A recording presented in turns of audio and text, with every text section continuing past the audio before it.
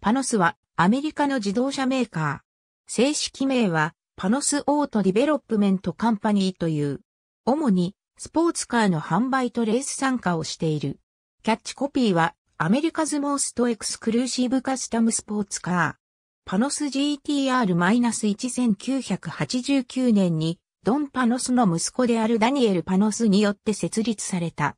母体となったのはアイルランドでロータスやマセラティ、リスターなどの車種も設計していた会社、トンプソンモーターカンパニーで、この会社を買収したのである。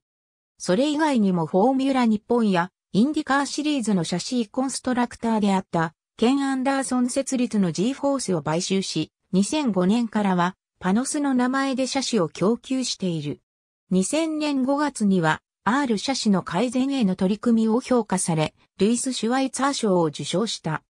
しかし R においては徐々にライバルのダラーラ車種に遅れを取るようになったことから、シェアは低下。2012年の車種変更によって、ダラーラの完全ワンメイクとなったため、インディカーへの車種供給は終了した。フォーミュラ日本でもレーナードに押され、供給台数が減少。2003年に撤退している。